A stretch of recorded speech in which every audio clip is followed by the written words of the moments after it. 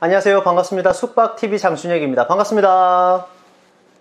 오늘은 곧 2024년도가 되죠. 2024년도에는 몇 년생부터 숙박업소 혼숙 출입이 가능한지 그리고 생일이 지나야 되는지 안 지나야 되는지 그리고 또 하나 많이 여쭤보시는데 미성년자가 숙박 어플로 예약을 하고 만약에 방문을 하면 그러면 어떻게 되는지 이 부분에 대해서 제가 오늘 세 가지를 말씀을 드리겠습니다.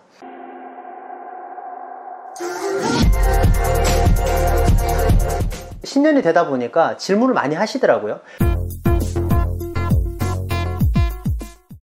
2024년도에는 바로 2005년생, 05년생부터 어, 숙박업소 출입이 가능합니다. 이렇게 말씀드리면 생일이 지나야 되는지 생일이 안 지나도 되는지 물어보시는 분들이 많으세요. 생일은 지나지 않으셔도 됩니다.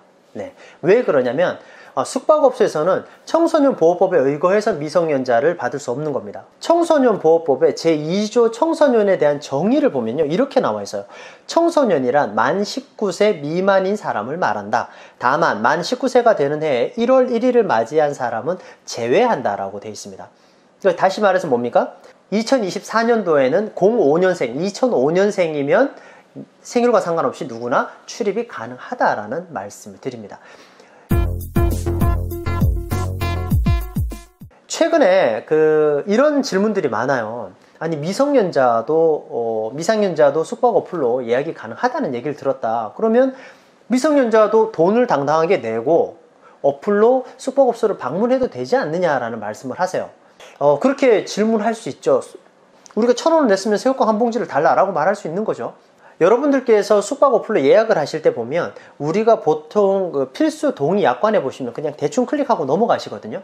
근데 거기에 내용에 보면 총 네 가지가 있는데 아마 이용 규약, 그 다음에 환불 정책, 제3자 동의, 음, 정보 동의 뭐 이렇게 해가지고 총 네 가지가 있습니다. 그 내용 안에 뭐가 있냐면 환불 정책 안에 미성년자일 경우에는 환불도 못하고 입실도 안 된다라는 조항이 있습니다. 숙박업소 예약을 하고 프론트에 가서 어, 내가 지금 신분증을 집에 놓고 왔다. 그렇 하지만 내가 지금 어, 플로 먼저 예약을 했으니 방을 먼저 달라라고 네, 그런 그렇게 주장하시는 분들이 가끔 계세요. 예약한 걸 자, 정보를 들고 와서 어, 예약을 했는데 방을 달라. 그러면 숙박업소 입장에서는 미성년자가 출입을 했을 때 영업 정지를 당할 수도 있는 상황이기 때문에 정말 민감하게 검사를 하거든요.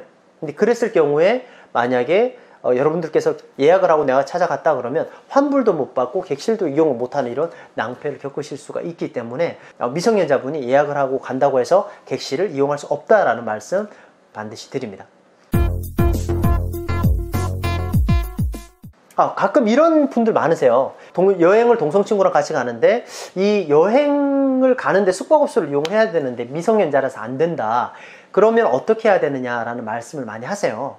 근데 일반적으로 숙박업소에서는 동성이 들어오더라도 뭐 예를 들어서 뭐 고등학교 2학년 여자친구라고 생각해 볼게요. 여자 둘이 들어갔어요. 근데 그 숙박업소가 장 프론트에서 잠시 자리를 비우는 사이에 남자가 들어갈 수도 있어요. 그러면 혼숙이 돼버리는 겁니다. 그래서 원천적으로는 모든 미성년자를 출입 금지를 하고 있습니다. 미성년자 혼숙 금지가 아니라 숙박업소 보면은 미성년자 출입 금지라고 돼 있죠. 그게 다 그런 이유라고 보시면 돼요. 그런데 내가 반드시 가야 된다라고 어, 숙박업소를 묵어야 된다라고 생각하시면 사전에 그 숙박업소에 연락을 하셔가지고 사정을 먼저 말씀을 하시고 거기에서 요구하는 서류가 있으면은 서류를 지참하셔가지고 어, 가시면 그런 부분들은 합의가 됐다 사전에 합의가 됐다라면 이용하실 수가 있습니다. 사전에 동의가 되면 그런 진정성이 느껴지잖아요. 그리고 어, 필요한 서류들을 다 지참을 한다라면 얼마든지 가능할 수 있다는 얘기죠. 이렇게 설 말씀하시는 분들도 있죠. 아니 그냥 부모님 동의서 그냥 가지고 가면 되지 않느냐라고 말씀을 하시는데 그 요구하는 서류는 숙박업소마다 조금씩 다를 수 있습니다. 그래서 사전에 숙박업소와 합의를 하시고 그 서류를 어, 가지고 직접 가시는 게 어, 합의하에 가시는 게 가장 안전하게 숙박업소를 이용할 수 있다라고 말씀을 드릴 수 있습니다. 그래서 꼭 이용하셔야 된다면 숙박업소에 사전에 연락하셔서 동의를 얻으신 다음에 서류를 지참하셔서 이용하시라라는 말씀을 드립니다. 다시 한번 말씀드리지만 2024년도에는 어, 05년생부터 가능하시고 생일은 지나지 않으셔도 된다라는 말씀 다시 한번 드립니다. 오늘 방송은 여기까지 하도록 하겠습니다. 지금까지 숙박TV 장준혁이었습니다. 감사합니다. 안녕.